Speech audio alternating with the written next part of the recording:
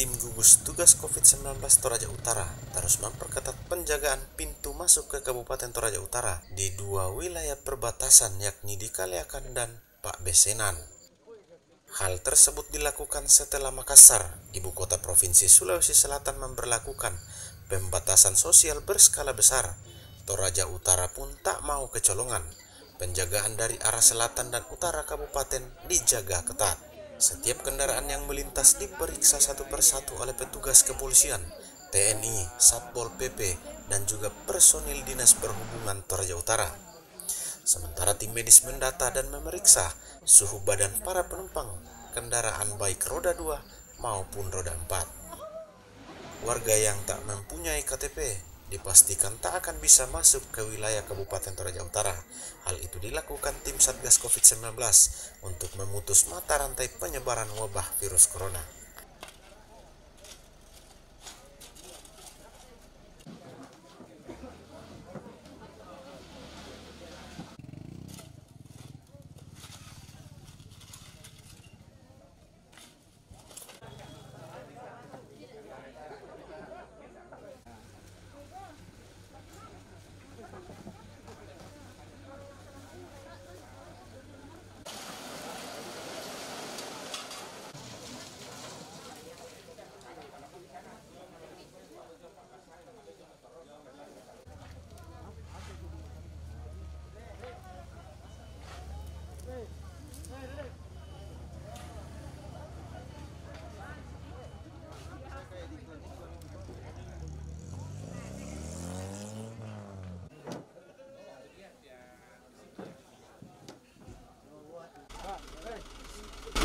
Karena KTP itu memperjelas identitas orang ini, dia mau ke mana, untuk apa, itu semua landasannya melalui KTP itu. Dan apabila dia menunjuk sebuah eh, seseorang keluarga, itu kita kontak. Apa benar orang ini akan bertamu di situ?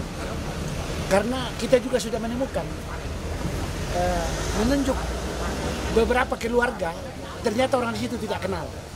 Nah itulah sebabnya uh, dengan kelulusan di tempat ini kita akan uh, lebih mantap untuk uh, mewawancarai, memeriksa semua orang yang lewat dan uh, menjaminkan kita bahwa uh, upaya kita untuk uh, menghentikan virus corona di Toraja Utara itu bisa tercapai. Uh, upaya seperti ini akan kita lanjutkan terus sebagai usaha kita untuk melindungi uh, rakyat di Toraja Utara.